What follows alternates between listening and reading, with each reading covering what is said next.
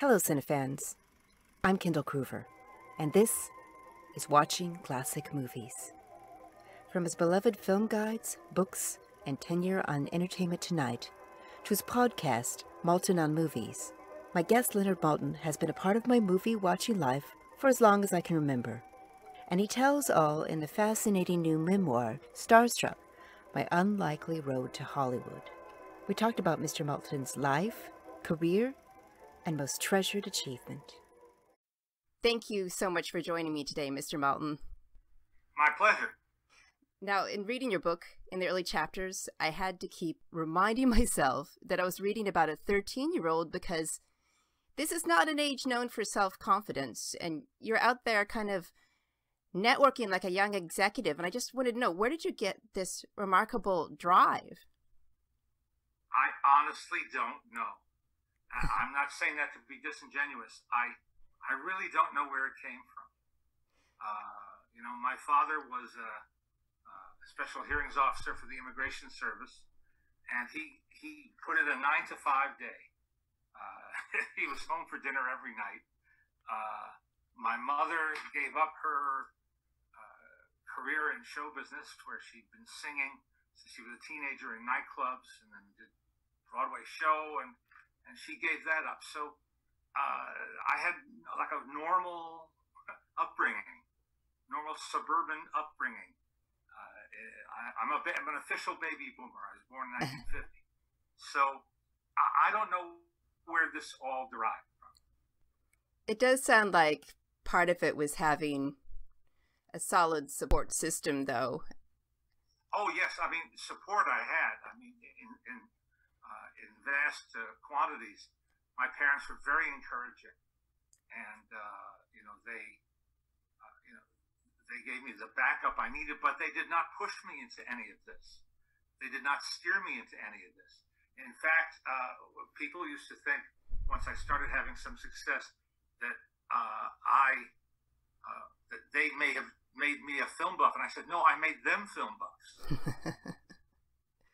so it's it's it's I mean, I think that maybe that's the answer then.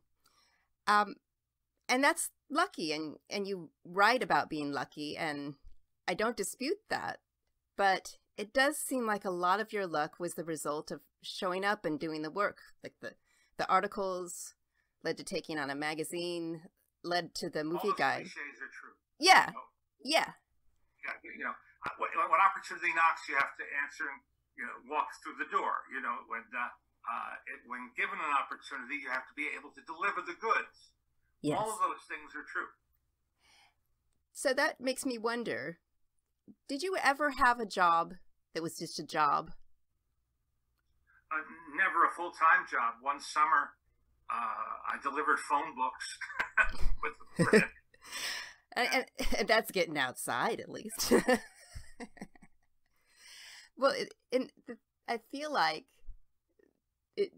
when you moved to LA and you got on TV, it kind of went to a, a different level for you from being this starstruck kid going out and, and meeting people to being you know, and maybe you'll dispute this classification, but a star yourself, where you're going to these posh events and Fred Astaire recognizes you. How did that, or did it, affect your interview style at all? Well, I never thought of myself as a celebrity, and I still don't. I mean, I understand that I've been on TV a long time. People do recognize me, you know, from time to time. Uh, but uh, no, I, am not. I'm not the star. I'm I'm out there, you know, uh, like big game hunting for stars. but did that recognition affect your work at all, as far as as them maybe letting down their guard a little, or did they still seem that they did in the past before you were better known? No, I, I don't think that had a. I mean, if if it gave me an edge or, or, or a leg up, it was only because uh, they, if they'd seen me on on television, they knew I was not uh, going to pounce. I was not going to attack. There's a certain sneak questions. There's a certain level of yeah. They they know how you how how you operate basically. Yeah, that makes sense. Yeah. yeah. Well, some of these yeah. some of these interviews you talk about like the, Robert Mitchum interview, where he's got this block of weed and he's talking about Sarah Miles, how she's a brilliant actress but unsavory. I don't. Ha- is this just an unusual time or person? Do people interview like that anymore? In that in that kind of frank, you know, open way? That was a unique, and I do mean the word unique situation. yeah. It was, uh, it was not a personal one-on-one interview. Yeah. It was a press conference for college uh, student newspapers. Yeah. And I w- went to NYU and I became the entertainment editor of the daily paper there. And uh, I got a call from a publicist at MGM asking if I wanted to come and talk to Robert Mitchum, uh, who was going to be promoting the David Lean films, uh, you know, Ryan's daughter. Yes. They didn't have very many interesting questions to ask. You had that advantage of experience there. Yeah. Yeah. I you didn't write that much about your NYU experience in the book. Was there just not a lot to tell or Well, it's pretty straightforward. I uh, I applied to two schools. I applied to NYU and Columbia University. Mhm. Columbia said no. NYU said yes. So, end of story? uh, and when I got there, of course, I immediately went to check out uh, the newspaper, which was then called Washington Square Journal, and uh, I asked if they wanted any movie reviews, and editor said, "Sure, you know, uh, submit a couple." And and on the, the paper, it's a pretty professional paper at, at that time. We did we published Monday through Thursday, and um, and then I, I I was named an entertainment editor, and I remained that for the the remainder of my four year stint there.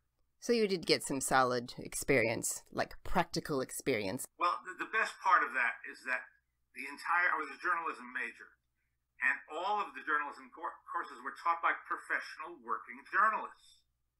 hmm There was nothing theoretical about it. And in fact, I was already starting to sell some freelance articles, and they let me turn those articles in as assignments. Now, not every school or department of the school lets you do that. Uh, I know plenty of people who who said uh, told me experiences where the professor said, and they didn't take that attitude because they were they were working journalists, and they understood that you know I was uh, just one step ahead. Which is precisely what a school should be. Mm, I think so. Yes. And the experiences that they shared with us, uh, life experiences, work experiences, money couldn't buy. Yes. Again, uh, boots on the ground, absolutely. Uh, uh, war, they called them war stories. Uh, you know, things that things that you don't find in a textbook. yes. Yes. So, abruptly going back on the interviews, there's a lot of gold in this book as far as the interviews that you included. Was there anything good that you had to, to cut out? Well, yes, and I just did an anthology two years ago, same publisher called Hooked on Hollywood, a number of other interviews. So, fortunately, I have a lot. yeah, yeah. And, you know, this book coming out, I actually thought that I had caught a lot of your story in Hooked on Hollywood. And I thought, well, what is he going to be sharing here? And the thing that really moved me about this particular book was that this was more of the personal side of things. And, and, and, and it really, you know, I, I, I follow Jesse on Instagram. I, I listen to your podcast. I know about the tightness of your family unit, how you are, as you called it, um, the Maltin Empire. And I did very clearly get how Alice influenced and enabled so much of what you were able to do early in your career. But I was curious to know more about how things changed when you and Jesse started to work together more. Well, she first off, she opened opened my eyes to uh, a lot of opportunities and avenues that I didn't know about because I am not a social media person. Mm. Uh, I'm, I'm, not an unsocial media person, but uh, I, I don't have time or interest to to you know get go down that rabbit hole, which for many people is you know a part of their daily uh, daily habit now. Um, So Jesse opened me up to that, and um, and also she's of a different generation, so she's aware of people and trends that uh, that might be uh, you know might be unknown to me. So uh, and how has she helped me in every way? And and of course she's kind of prodded me to, mm-hmm. to stay with it. Yeah, yeah. I the thing I like about your interplay on your podcast, Maltin on Movies, is that she is of this, you know, a newer generation, but she knows so much about the history of films as well. So when you've got somebody like Norman Lloyd on, you know, she she she knows where he's coming from and she understands the weight of it all, how important it all is. Yes, yes. She she has she has taken that in, I guess, by osmosis. uh, you know, it's not that I educated her about uh, this or that in particular, but uh, along the way, you know, this is the life that I lead, and our friends are all uh, of the same same stripe, and uh, so she's taken a lot in. She's been a sponge, yeah. even even if un, unwittingly. Yeah, well, I, and I've thought about that. I, I know you're going to be a grandparent very soon, and con- congratulations, by the way, on that. I, am thinking this kid, even if they rebel and become into soccer or something, they're going to know everything about silent movies, and they, they, well, I, I hope so. a good a good cultural base, no matter what you do. Mm-hmm. So with this with this podcast you're doing, do you have any any dream guests that that that you would like to interview in oh, future? Oh, so so many. Uh, you know, we at, at, first we limited ourselves to people we could interview in person mm-hmm. because we really liked the idea of being in a studio face to face with with our guests.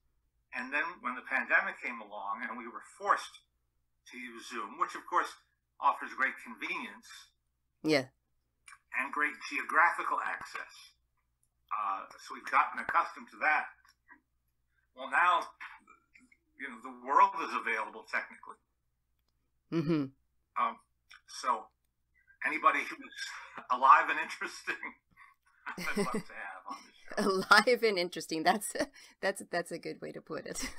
you know, at at a certain point reading the book, I I wondered if you ever still got starstruck, but then I run right into this Mel Brooks interview where you were really quite moved by the experience. And um, I just find it so interesting that you're still this 13 year old fan in so many ways that it stayed so fresh for you. Do you have any theory into why this is so? Is it just that you've done what you love your whole life?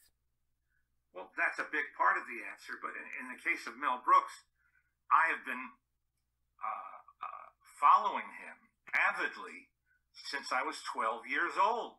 Yeah. And I first encountered his voice in short called The Critic. And it was right around that time that he and Carl Reiner started doing their 2,000 year old man routines on TV and, uh, and on uh, comedy albums, which were a big deal back in the 60s. And so that's how long I have been an ardent admirer. And uh, though I had met him before, to sit with him for an extended period of time with my daughter and we were sort of huddled together uh, in what was not a professional recording studio, so we all had to kind of try to squeeze together. Was just uh, breathtaking. Yeah, I, I like the detail of him holding Jesse's hand too. It said so much about his kindness. And that, you know, as impressive as he is, he's also just this nice man. Yes, and a father and a grandfather. Yeah, just a caring person. So it's like you get starstruck, but they're just like us too. So I wanted to um ask you about the Walt Disney Treasures collection. I, I was thinking about this and how you know, maybe I've got my timeline wrong, but it seems like maybe you kind of pushed for this idea of collecting Blu-rays, of there being a collector's audience. Do you feel that's accurate? That's how I pitched it. Yeah. I pitched the idea to the man who ran the company at the time. And I said, the beauty of this is that uh, putting out your old cartoons and TV shows and and certain movies in in a an organized way Mhm. doesn't repel families or kids from just popping in the disc and watching it and enjoying it. What hmm it does is add, broaden that audience. My idea, I felt, didn't exclude families and kids just popping in the disc and enjoying it. mm Uh, but you also, this way, uh, beckoned in the uh, the collectors and the buffs and the diehards. I know that ended rather abruptly. Was there anything else that you had wanted to do for that collection that you were unable to do? I'm sure there's a lot actually, but anything in particular? Well, fortunately, I think we covered uh, an awful lot of ground, and there's very little that I felt cheated out of doing. I wanted to do a, a set on Disney educational films hmm because uh, when I was a kid and they used to wheel in the 16 millimeter projector into the room and they put on, you know, Oracle film, if it had the Disney logo, I perked up. I knew that was going to be entertaining. They, they were going to put that spoonful of sugar on the contents. And um, I, I, I- hope it still signifies that for, for today's young audience. And that would have been fun to do and uh, there was some miscellany, not too much that we didn't get to cover at all. hmm Oh, that's good. I was impressed you got that whole season. No, Was it the whole run of Zorro that you got on the Oh, disc? yes, yes, every every inch, yeah. That's that's really something. I, I I mean, I just I feel like things have changed so much. I wonder if that would be possible in any way through any company anymore. I know that Walt Disney, this reputation has had a lot of ups and downs over the years, and you were notably saying, you know, trying to give him some support in your book. I I admit that I thought that he had a bad record with with female animators until I read this book, um, Queens of Animation. Realized he was actually remarkably supportive. Um, what what kinds of things do you try to tell people about Walt Disney to to to kind of be accurate and fair to his reputation? Well, you know, I try to set some things straight. Uh, people love to take a pin and prick it in a, uh, to mix a metaphor, uh, a- balloon that's a sacred cow. Uh, you know, bring somebody down. Yeah. Uh, and uh, I have an opposite attraction toward Disney because I grew up with them, not just from reading, but from talking to people who were actually there uh, the more I, I see him as a as a man of great understanding. He had tremendous people skills. Uh, he, he would reassign people to new projects uh, that they didn't think they could do, but he did. Yeah. He had a, a, an almost sixth sense about that. Uh, and uh, listen, he was a product of his time hmm and that time was not very enlightened uh, in terms of women in the workplace. But his sister-in-law ran the ink and paint department, Yeah. Yeah. and uh, and he he did employ and Mary Blair, one of the most gifted artists he ever employed, uh, had sort of uh, carte blanche because he just loved what she what she painted. In a way, Mary Blair is my favorite Uh, my favorite aspect of, of, of who he supported and encouraged. yes, yes, exactly. Because he saw the raw talent and that was I really think that's all he saw. It, it, it wasn't raw; it was already fully d- developed. Now that's true. Yes, yes, she had a style and and and she was influencing them too. Right. Yeah. Just, her work appealed to him. That's it. Yeah, yeah. Just looking back, what what do you find the most glorious or impressive about what you've done? Like what's the thing that really warms your heart to think about it? Well, so many things, um, but that uh, getting to release those 37 discs or di- two disc sets on DVD. Yeah.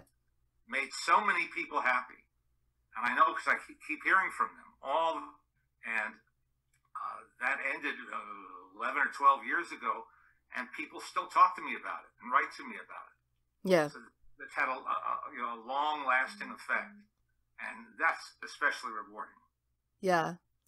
You know, I, another thing about your whole Disney experience, it's really interesting how it's been with you in so many stages through your whole life. The first thing you see is the end of Snow White. That's the yeah. first thing you see in a theater. And um just being an honorary member of the Mickey Mouse Club, it seems like the one through line through your life is is, is Disney.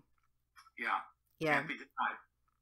So, in your experience as a USC professor, I, I was so impressed that you managed to fold in these classic stars and and introduce them to a younger audience. And and I was tearing up reading the part about Angela Lansbury and I couldn't figure out why until I realized she was getting her flowers much in the way that TCM and TCM Film Festival does for for stars uh, of another era but also you were showing them her past showing them another aspect of her where she came from and and the, a younger generation taking that in is going to share it with with say their kids.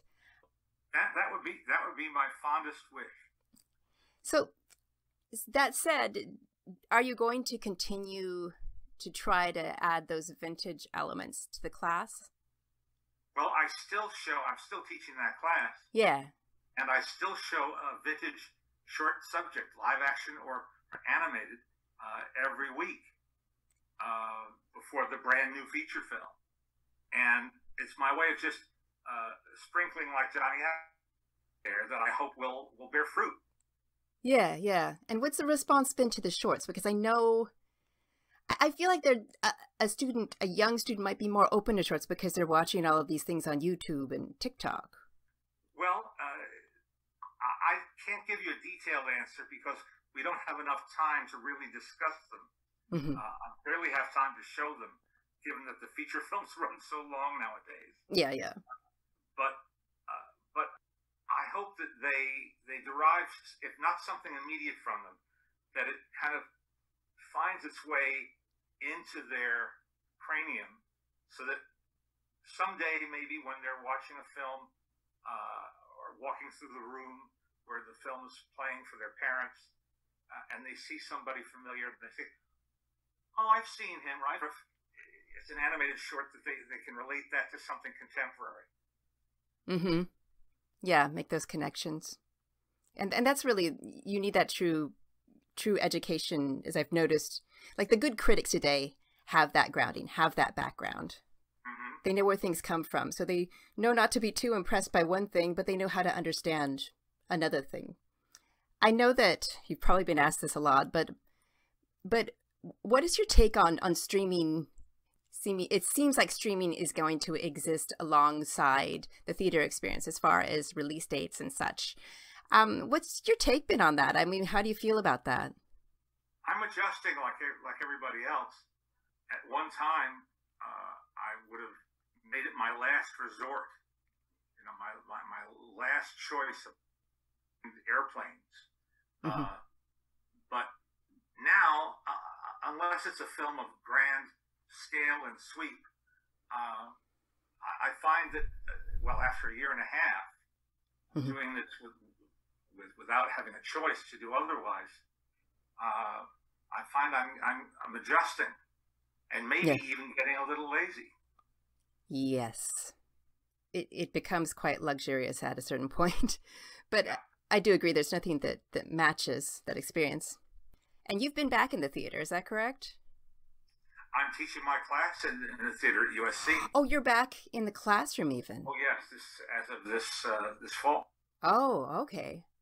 The students are all masked, but they're there. Yeah, it makes all the difference, I'm sure too. So before I let you go, I I, I think that you signed a, a, lot of books, copies of your new book for the oh, Larry Edmunds the Larry Edmunds Bookshop, which I hadn't which I hadn't been to in a little while. It was just so cool to be in that uh, in that store again. Oh yes, I... I, visited on my very first trip to Los Angeles. Oh, you did. Mm-hmm. Was it a, was it in that location? I can't remember when it moved. Yeah, I can't either because it moved uh, just a little bit on the boulevard, Hollywood Boulevard. Uh, but uh, a room full of books and movie stills and posters is a room full of books and movie stills and posters. Doesn't matter where it is. Well, I just wanted to make people sure people knew that because I know that um, it, it's been a struggle for them to move forward past these past 18 months. And I think that it would be really special to have a signed copy of your book. So I just want to suggest that to listeners that the Larry Edmunds bookshop is online and and you can you can order a copy with a signature through them. Personalized. Personalized even. Wow. Um thank you so much, Mr. Maltin, for talking to me today. You know, I've, I've followed you for years. You know, have some really old copies of your classic movie guide, and, and, and you've been just a wonderful movie friend throughout the years. Well, it's very kind of you to say. And I, I feel I've always felt uh, fortunate that I've had this kind of connection with my with my readers and fellow movie buffs. It's a priceless it's a priceless gift, I'm sure. It is. For show notes, including more information about Mr. Maltin's book, go to watchingclassicmovies.com. Thank you for listening.